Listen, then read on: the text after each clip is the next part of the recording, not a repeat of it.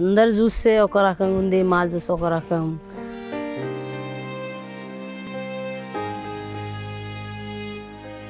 కవిత ఎందుకు పెళ్ళి చేసుకోలేదు ఇప్పటిదాకా? మా అక్క చెల్లెలకు చూసుకొని వా- అమ్మ నాన్న వాళ్ళకి చూసుకొని మంచిగా బతుకు చాలా ఆటో అర్ధరాత్రులు ఏ టైం అయినా అవ్వచ్చు ఆటో. ఇలాంటి పరిస్థితుల్లో మీకేమైనా ఇబ్బందులు ఎదురయ్యాయా? ఒక్కొక్కసారి చచ్చిపోవాలి బాధ చూసి అందరు చూసి అనుకుంటా కానీ. ఎందుకు ఈ గెటప్ ఎందుకు? ఇంత ఉన్నప్పటి నుంచి నాన్న బని డ్రైవర్ వేసుకొని పోతుండే మేడం.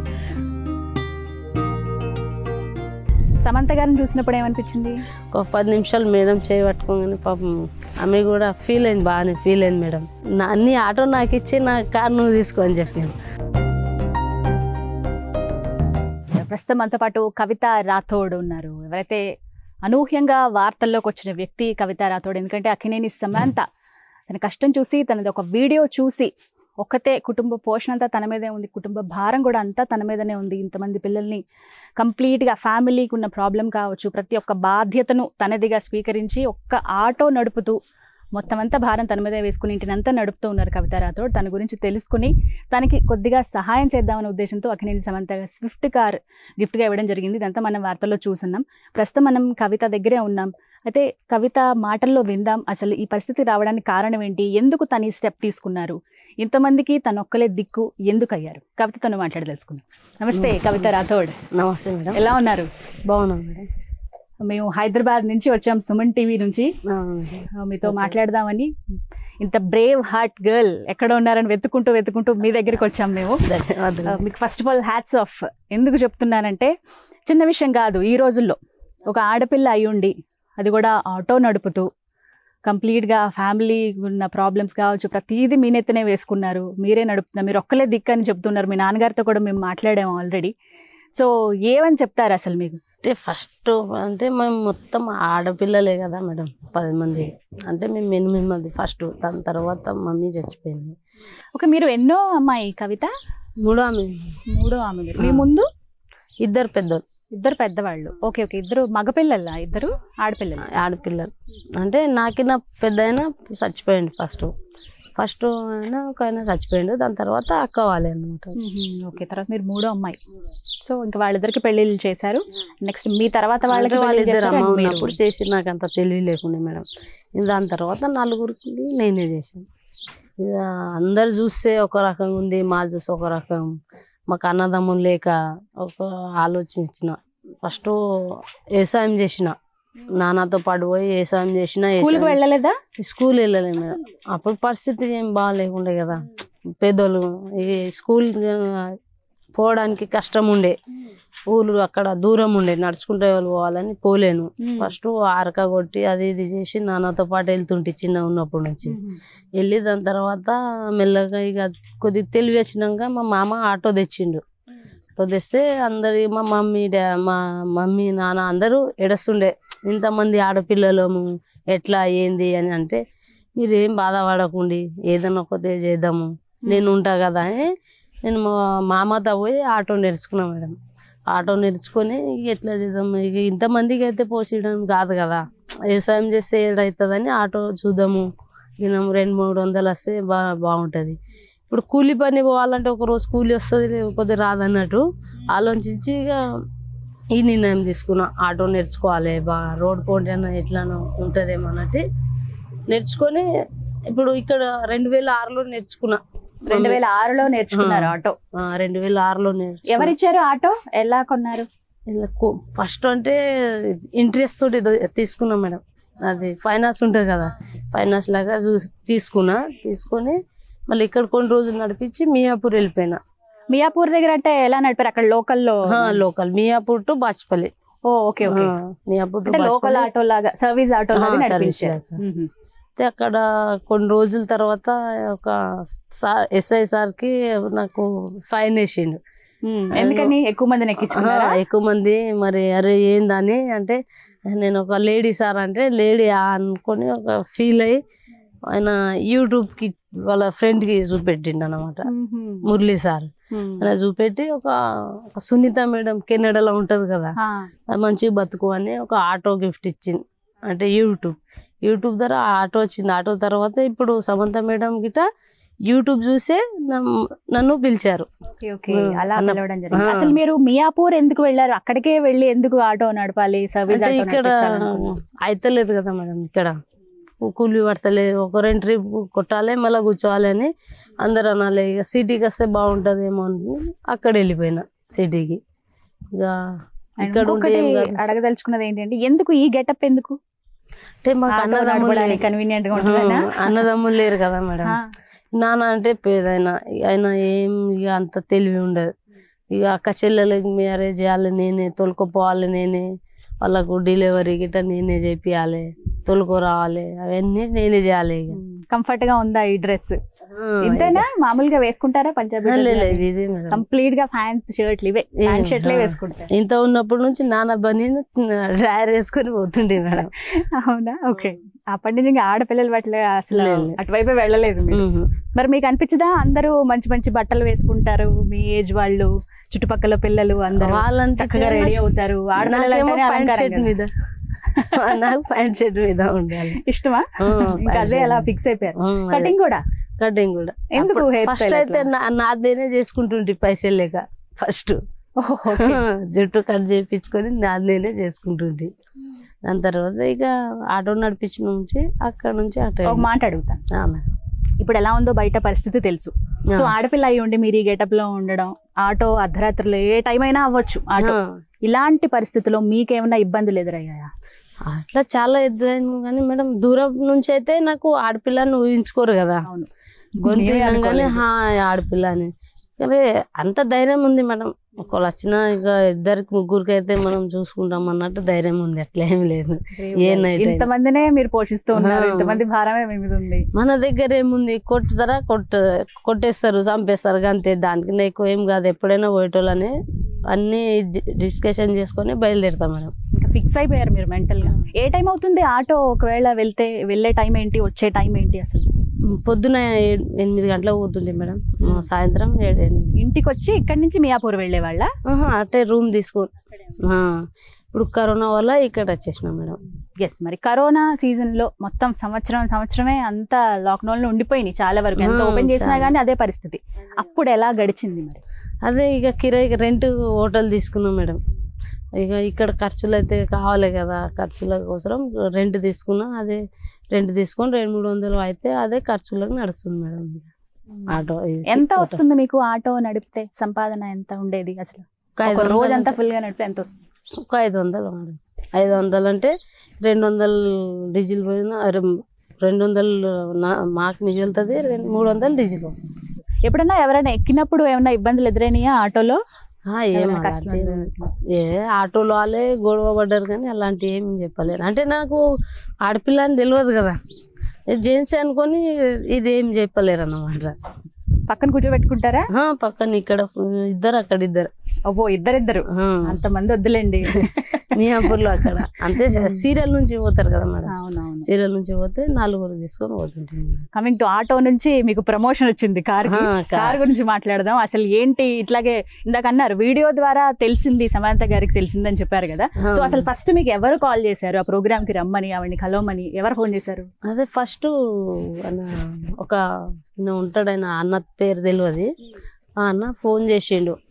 ఇట్లా సమంత మేడం వాళ్ళు వస్తారంట అని ఇక్కడికి వచ్చారు ఇక్కడికి వచ్చి వాళ్ళు షూట్ చేసుకొని పోయారు అనమాట యూట్యూబ్ నుంచి అక్కడ పంపించి పంపించిన తర్వాత కొన్ని నెలల తర్వాత నాకు సమంత మేడం అక్కడ పిలిపించారు అన్నపూర్ణ స్టేడియం. అడిగి పోయినాక ఇక కార్ గిఫ్ట్ ఇస్తా అని వాళ్ళు చెప్పాను ఎప్పుడు వెళ్ళారు అది? వారం అయింది కదా? అక్కడ. లేదు. అక్కడ పోయి ఆరు సిక్స్ మంత్ అయితే మేడం. ఆరు నెలలు అయిందా. ప్రోగ్రామ్కి వెళ్ళి. ఆరు నెలలు అయితే గడిచింది. సో ఓకే గుర్తుందా మీకు? ఫస్ట్ ఒక్కసారి ఆ ప్రోగ్రామ్లోకి వెళ్ళగానే అడుగు పెట్టగానే. ఎందుకంటే ఇక్కడ ఉన్న ప్రపంచం వేరు. షూటింగ్లు అవంటే ఆ ప్రపంచం వేరు. ఏమనిపించింది ఒకసారి ఆ సెట్లో అడుగు పెట్టినప్పుడు మీకు? చాలా ఆనందం అనిపించింది మేడం. నేనేంటి అన్నట్టు? అదే నేను ఇట్లా నా పరిస్థితి ఇట్లా ఇట్లా పిలిపించిర్రు ఏంది? అని నేను బాధ అనిపించింది మేడం అక్కడ పోగానే. సమంత గారిని చూసినప్పుడు ఏమనిపించింది? ఎందుకంటే సినిమాల్లోనే చూస్తాం మనం. కళ్ళెదురుగుండా చాలా. హ్యాపీగా అయిపోయినా. నాకేం నేను అనుకోలేను. అసలు మేడం పిలిపించి ఇంత హెల్ప్ చేస్తారని అసలు నేను ఊహించుకోలేను అనుకోలేను.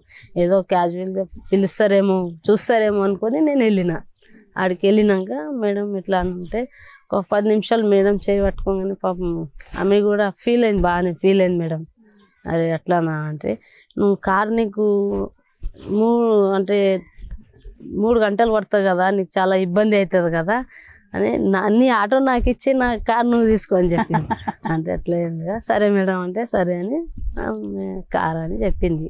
తర్వాత ఇన్ని రోజులు పట్టింది. దాని వాళ్ళు వేరే మేడమ్స్ చెప్పి పిలిపించారు. ఒక వారం అయింది మేడం. షోరూమ్ పేరు చెప్పారు అడ్రస్ ఇచ్చారు మేము అక్కడికి వెళ్ళినాము. వెళ్ళినాక వాళ్ళు షోరూమ్ వాళ్ళు హ్యాండ్ ఓవర్ చేసారు ఆ నుంచి వచ్చిన వేరే మేడం అడిగితే మీరు వెళ్ళిపోండి తర్వాత అడుగుతామని చెప్పింది మేడం ఫ్యామిలీ గురించి ఖచ్చితంగా మాట్లాడుకోవాలి. ఇంతమంది ఆడపిల్లలు ఆరుగురికి పెళ్ళి చేశారా మీరు? మేడం దాని ద్వారా అప్పు కూడా అయిందంట కదా? అప్పు పదిహేను లక్షలు అయింది మేడం. పదిహేను? ఇంట్రెస్ట్ బట్టి. ఇంట్రెస్ట్ నుంచే తెస్తాం కదా ఆ రెండు ఎకరాల భూమి ఉంది. ఆ భూమి ఏమో ముద్దత్? పెట్టినాం. అమ్ముకోలేం మేడం ముద్దత్ పెట్టినాం. గిన్ని మూడు సంవత్సరంకి ఇవ్వాలి నిరుడే మా చెల్లెలు పెళ్ళి చేసినాం. ఆమెకి ఫస్ట్ అవి ఇవన్నీ అప్పులు అంటే ఇంట్రెస్ట్ తోటి పదిహేను లక్షలు అవుతాయి మేడం. పదిహేను లక్షలు. అప్పు ఉంది నెత్తి మీద ఎలా తీరుస్తారు? అదే చూడాలి మేడం కార్ వచ్చింది కాబట్టి కాస్త మర్చిపోయిన వస్తుందా డ్రైవింగ్? ఎందుకంటే కంప్లీట్గా ఆటోనే ఇన్ని రోజులు నడిపి పర్ఫెక్ట్గా డ్రైవింగ్? పర్ఫెక్ట్ ఏం సిటీలో రాదు మేడం మామూలుగా నారాయణగేడ్ అక్కడ ఇక్కడ అంటే నేర్చుకోండి. మీరు పట్టుదలగా ఉన్నారు ఖచ్చితంగా నేర్చుకుంటారని కూడా నాకు అర్థమవుతుంది మీ సిచ్యువేషన్ చూస్తుంటే. మూడు రోజులు. ఫస్ట్ టైం ఎప్పటికి నేను ఆటో గిట నేను పక్కన నాకు మా మామయ్య నేర్పియలేడు. పక్కన కూర్చొని ఇట్లా ఇట్లా అనుకుని మైండ్ పెట్టి నేను నేర్చుకున్నా. ఇది గిట్ట మా అల్లుడు రాదు నీకు అని చెప్పిండు. "ఏ, సుధం నువ్వు పక్కన కూర్చొని ఎందుకు రాదు ఎందుకు రాదు? పని మనుషులతోటే అవుతుంది ఇంకా మనుషులతోటే కాకపోతే ఇంకేంది అని నేను ఇంకా ఆలోచించి నిన్న నుంచి నేర్పిస్తుంది సో ఏంటి ఎలా యూజ్ చేద్దామని కార్ని మీరు? మీరే నడుపుతారా? నేనే నడపాలి. అంటే సర్వీస్ సర్వీస్ అక్కడనే ఎక్కడ? మియాపూరేనా? లేకపోతే ఇంకా ఫిక్స్ అవ్వాల్సి ఉందా ఎక్కడ ఫిక్స్ ఎట్లా అంటే అట్లా ఎవరైనా కంపెనీలు అంటారు. ఇక్కడ లోకల్ అన్న ఏదో ఆలోచించాలి. సిటీ ఉంటే గిట రూమ్ తీసుకోవాలి కదా మేడం. రూమ్ తీసుకొని ఒక్కోళ్ళకి కాదు ఎట్లా అని ఆలోచిస్తున్నాం మేడం. సో ఆరుగురు పెళ్ళి చేశారు ఇంకా నలుగురు ఉన్నారంట. ఇంకా నలుగురు మరి కవిత ఎందుకు పెళ్ళి చేసుకోలేదు ఇప్పటిదాకా? నాకు వాళ్ళ నేను చేసుకుంటే వాళ్ళకి చేయరు కదా మేడం. ఎన్నాళ్ళు ఎన్నాళ్ళు ఇలా చేస్తే వాళ్ళ అందరు అయినాక తర్వాత అప్పుడు చేసుకుంటా ఏమో ఏమనుకోద్దు? వయసు ఎంత ఇప్పుడు? థర్టీ ఉంటుంది మేడం. థర్టీ ఇయర్స్ ఉంటాయి. ఇంకా అంటే లేట్ అవుతుంది కదా? ఆయన ఏమో మేబీ. అర్థం చేసుకునే మనిషి వస్తారేమో మీకు. నాకు అలాంటివి ఏం లేదు. పెళ్ళి చేసుకోవాలనే ఉద్దేశం ఏం లేదు. ఇట్లానే జీవితం మా అక్క చెల్లెలకు చూసుకొని అమ్మ నాన్న వాళ్ళకి చూసుకొని మంచిగా బతుకుడే చాలు అన్నట్టు మీరే ఒక ఎలాగో ఇంకా వాళ్ళు ముప్పై అయింది ఇంకో ముప్పై ఉంటే చాలు అంతే ఇక అయిపోతుంది ఇక. మేడం? బాగా చెప్పారు కానీ తోడు ఉంటే కూడా బాగుంటుంది. ఇప్పుడు ఎన్నాళ్ళని ఇలా ఆ పిల్లలు కూడా పెళ్ళి చేసుకుని వెళ్ళిపోవాల్సిందే వాళ్ళైనా వాళ్ళని ఇక ఎవరు ఇక ఎవరు చూస్తే వాళ్ళకి ఇక లాస్ట్ మేడం తమ్ముళ్ళు ఇద్దరు తమ్ముళ్ళు ఉన్నారు ఇక వాళ్ళు చూస్తారా లేదా దాని పరిస్థితి ముంగటి సంవత్సరం ముంగట అని నేను అనుకుంటాను మేడం ఇక నేను పెళ్ళి చేసుకుంటే ఇక నేను పెళ్ళి చేసుకున్నోడు బాగుండాలి కదా. అమ్మ నాన్నకి ఎందుకు చేస్తున్నావు? నువ్వెందుకు పోతావు అంటావు ఇక చేయనియరు కదా అన్నట్టు వీళ్ళకి నేను చేసి తర్వాత వాళ్ళు నాకు వేస్తే ఏం లేకపోతే లేదు నా కిస్మత్ నాకని నేను అదే ఫిక్స్ అయిపోయారు ఇంకా మెంటల్గా. సరే మరి మీరు బయట నుంచి తేవడం ఇవంతా మీ పని. ఇంట్లో వంట చేయటం పిల్లలకి వండి పెట్టడం ఇదంతా ఎవరి పని? మా చెల్లెలకి వస్తుంది అమ్మకి వస్తుంది. వాళ్ళు చేసుకుంటారు. వాళ్ళు చేస్తారు. పదహారు సంవత్సరాల నుంచి నడుపుతున్నారు. ఈ పదహారేళ్ళలో ఆటో ముట్టిన తర్వాత అండ్ ఇప్పటి వరకు ఈ కార్ వచ్చింది మొత్తం ఈ పరిస్థితిలో. అసలు ఎందుకురా బాబు ఈ జీవితం అని అనిపించిన సంఘటన ఏదన్నా ఉందా లైఫ్లో ఆ, ఆ, ఒక్కొక్కసారి అట్లా అనిపిస్తుంది మేడం. కానీ ఒక్కొక్కసారి చచ్చిపోవాలి బాధ చూసి అందరు చూసి అనుకుంటారు కానీ నేను చచ్చిపోతే ఇంకా ఇద్దరు ముగ్గురు ఉన్నారు కదా వాళ్ళకి ఎవరు చూసుకుంటారు అని ఆలోచించుకుంటా మేడం తర్వాత. ఇప్పుడు కూడా వీళ్ళ గురించి ఆలోచిస్తూ ఆ. ఉన్నారు. వాళ్ళ ముగ్గురు గిట్ట పెళ్ళి చేసేస్తే నేను హ్యాపీగా ఉంటాయి ఇక తమ్ముడు వాళ్ళంటే ఎట్లయినా ఉంటారు వాళ్ళు ఎట్లయినా బతుకుతారు కదా. ఈ ముగ్గురు చేసేస్తే నేను ఇంకా చాలా హ్యాపీ అయిపోతాను మేడం. బాగా సంతోషించింది బాగుంది నా లైఫ్ అని అనిపించింది సిచ్యువేషన్ ఏమైనా ఉందా? ఇప్పటి వరకు హ్యాపీగా ఫీల్ అయింది ఎప్పుడు? హ్యాపీగా ఫీల్ అయింది మంచి ఎప్పటి నుంచి ఇక బాధ ఉంటుంది కదా మేడం. హ్యాపీగా ఫీల్ అయింది ఎందుకంటే ఎప్పుడప్పుడు మమ్మీ గుర్తొస్తుంది. ఎప్పుడు ఎలా చనిపోయారమ్మా? అమ్మకి ఇది ఇక్కడ side కి నొప్పి ఉండే మేడం. సైడ్ నొప్పి ఉంటే ఆమెకి అప్పుడు తెలియదు కదా. అంత హుషారు లేకుంటే లేకపోతే నేను ఏదైనా ఒక తీరు బతికిస్తుంటేసి మేడం. ఇది మన. సంగారెడ్డి దగ్గర. ఆడ ఆపరేషన్ చేసి ఆపరేషన్ చేసి ఆ మొత్తం వాళ్ళు ట్రైనింగ్ చేసేటోళ్ళు ఉండే. ట్రైనింగ్ చేసే వాళ్ళు ఏం వాచరు ఏమో పెట్టలేదంట. దానివల్ల కడుపు ఉబ్బి గాంధీలో ఒక రోజు ఉండి చచ్చిపోయింది. భారం అంతా మీ మీదే పడింది. ఇప్పుడైతే ఇప్పుడు సమంత మేడం కార్ ఇచ్చి చాలా హ్యాపీగా మేడం. చక్కగా నవ్వుతున్నారు మీరు. ఆమెకి జన్మంలో రుణపడి ఉంటాం మీరు ఏం చెప్పాలనుకున్నారు? మీరు ఒక అమ్మాయిగా ఉన్నారు ఇంత ఒక ఫ్యామిలీని నడిపిస్తూ ఉన్నారు. మేబీ మీరున్న మీ జర్నీ ఇవన్నీ చూసి ఇప్పుడు చాలా మంది ఆడపిల్లలు వాళ్ళు మేబీ ఉన్న పరిస్థితులను బట్టి బయటికి వద్దామా వద్దా కుటుంబ భారం తీసుకుందాం వద్దా ఇలాంటి ఊగిసలాడుతూ ఉన్నారు. అలాంటి వారికి ఏం మెసేజ్ ఇస్తారు మీరు ఇప్పుడు వస్తున్న యూత్ ఆడపిల్లలకి? ఇక నా లెక్క ఆలోచిస్తే వాళ్ళ గిట్ట మమ్- అమ్మ నాన్నకు ఫ్యామిలీకి చూసుకుంటారు మేడం. ఇక వాళ్ళు వేరే డిస్కషన్ చేసుకుంటే ఇక వాళ్ళకి ఏమన్నా చెప్పలేము మేడం. పెళ్ళి చేసుకుంటే ఇంకా వెళ్ళిపోవాల్సిందే. కాబట్టి అదే కదా.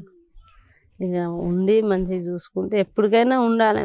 ఇప్పుడు మనం మనిషిలాగా అంద ఆలోచించుకుంటే అంద ఎప్పటికీ అలానే ఉండాలి అనుకుంటాం మేడం. కానీ మగ పిల్లలకి ధీటుగా వాళ్ళు ఎక్కడ దగ్గరికి రాకుండా మీరు అంత స్థాయిలో నిలబడి ఒక ఆడపిల్ల అయి ఉండి మీరు కుటుంబాన్ని నడిపిస్తున్నారు. చూసారా? పూర్తిగా భారం మీ మీదే పడింది. అండ్ ఎక్కడ వాళ్ళకి ఏమి ఇబ్బంది లేదు. అన్నీ సమకూరుస్తూ ఉన్నారు అన్నీ అందిస్తూ ఉన్నారు. సో ఇంకా ఏంటి ఫ్రీ టైం అలా ఏమన్నా ఉంటుందా? ఏమైనా ఎంజాయ్ చేయడానికి ఎంటర్టైన్మెంట్ అందరికీ కావాలి సినిమాకి వెళ్ళటం కానీ. ఇలా ఏమైనా చేస్తారా? అవన్నీ ఏమి ఉండవు అవన్నీ ఏమి ఇంట్రెస్ట్ ఉండవు. ఏం ఇంట్రెస్ట్ లేదు. ఇంకా లైఫ్ ఫ్యామిలీ ఇదే గుర్తొస్తూ ఉంటుంది. మంచిగా ఉండాలి. మంది చూసి వాళ్ళందరూ మంచిగా ఇద్దరు మాగిట అన్నదమ్ములు లేరు కదా అమ్మ ఉంటే ఇంకో వేరే ఉంటుంటే అట్లా ఫీలింగ్ తోటి ఏం గుర్తురాను ఇదంతా తండానే కదా. వీళ్ళ వీళ్ళందరూ ఎలా ఉంటారు? సహకరిస్తారా? మంచిగా మాట్లాడతారా? మంచిగా ఉంటారు మేడం. అంటే ఎవరు ఎవరు వాళ్ళకే ఉంటారు కదా మేడం. ఇక ఎవరు బాధ వాళ్ళే వాళ్ళు చెప్పుకుంటారు. అని అంటే ఇక నేను ఏం ఏం చెప్పాను ఏం మాట్లాడు గిఫ్ట్ ఇచ్చారు సమంత కార్ మీకు చక్కగా ఒక జీవనాధారమే దొరికింది. మేబీ టు బీ ఫ్రాంక్ ఓపెన్గా చెప్పుకోవాలంటే మీరు అంత వెచ్చించలేరు ఇప్పుడు. కారుకి వెచ్చించే పరిస్థితి అంత పరిస్థితి అయితే లేదు ఇప్పుడు. బట్ అలాంటి మీకు దేవుడు దిగి వచ్చినట్టుగా ఆ వరం వచ్చింది. సో మీ కుటుంబం అందరి తరపున మీ తరపున ఏం చెప్తారు మీరు? మాకు ఇంకా మంచిగా ఆదుకున్నది మేడం. ఒక దేవుడు లేక సమంత మేడం నాకు ఆదుకుంది. జీవితం అంతా మీకు రుణపడి ఉంటాను మేడం. సమంత మేడంకి. చేతులు కాళ్ళు శుభ్రంగా ఉండి ఏ పని చేయకుండా ఇంట్లో ఉన్న వాళ్ళకి మేబీ మగవాళ్ళకి కూడా అది ఆడవాళ్ళని మగవాళ్ళని ఎవరైనా కూడా వాళ్ళందరికీ ఒక సొల్యూషన్ మీరు. మిమ్మల్ని చూసి ఇన్స్పైర్ అయ్యి అరే ఆ అమ్మాయే ఇంత బాగా నడుపుతుందో? మేమెందుకు వెళ్ళలేము అనే ఆలోచనలు కూడా చాలా మంది మేబీ ఈ వీడియో చూసిన తర్వాత రావచ్చు బయటికి. బట్ కంగ్రాచులేషన్స్ ఇంకొకసారి Thank చెప్తున్నాను you. Kavitha Rathod. Thank you. సాఫ్ట్ యూ నేను ఎన్నిసార్లు చెప్పినా తక్కువే. ఎందుకంటే ఆ కష్టం ఏంటో నాకు తెలుసు. ఒక ఆడపిల్ల లీడ్ చేయడం అనేది చాలా చాలా గ్రేట్ మీరు నిజంగానే. రైట్